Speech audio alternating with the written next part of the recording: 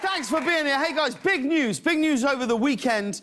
Uh, the Dakota Access Pipeline, which the Sioux Tribe has been protesting for months, uh, the news came out that will no longer be routed through their land, which is wonderful news. Really, really is. It's a, it's a big win for Native Americans. And now, if the next 9 billion, 900 million things go their way, we can finally call it even. Um, but uh, it's been an amazing move. Protesters from all over the country have gathered there. I like to imagine the guy who was late and just got there today. Like, I'm here. How can I help? We did it? Yeah! Um, the Native American people who've been protesting announced that their fight is far from over, but for now, uh, hippies with guitars can stop coming to help them. Um, but this was kind of a blow to the oil executives who say they plan to regroup, replan, and look for alternate ways to ruin our environment. So, look forward to that. Uh, in political news, Donald Trump has announced another cabinet position. Dr. Ben Carson, who ran against him in the primary, has been nominated for Secretary of Housing and Urban Development.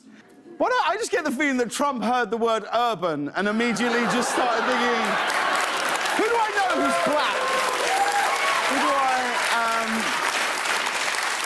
Trump actually first announced this in a tweet, and it becomes official as soon as Congress retweets it. I think that's how the US government works nowadays. I don't know. I don't even, how did Ben Carson even get that job? He's a renowned brain surgeon. Like, he's brilliant at that. Having Ben Carson be the Secretary of Housing and Urban Development is like having LeBron James cut your hair. Like, he's great at a thing, but the thing he's good at isn't the thing you need him to be good at. Ben Carson's lone qualification to be Secretary of Housing is that he lives in a house. now, clearly, uh, there's lots of big important stuff going on in the news. So, of course, America is obsessed with something called the Apple Challenge, where people are attempting to rip an apple apart with their bare hands. Like this.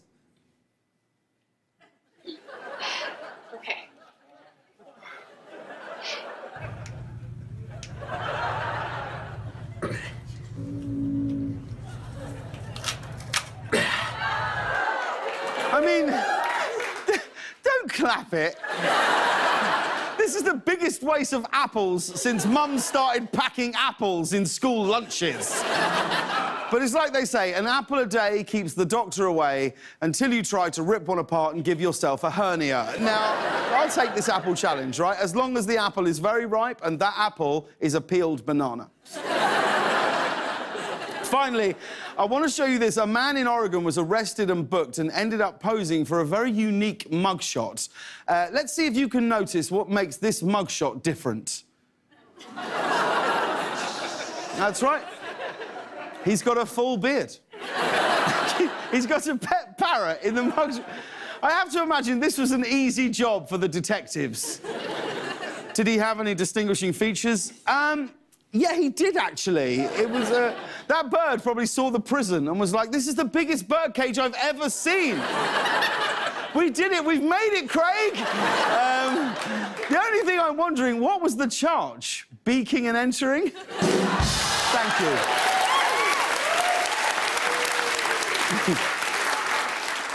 You're going to regret applauding that. Jay squawking?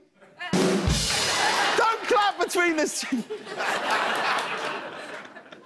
Bird degree murder. Arson. Burglary. Getting a DU fly. Illegal, illegal parking. That's so awful. That's it. I'm done. Those were so bad. I know. I don't. I, no, come on. I. I apologise. There will be no more foul play tonight. There it is!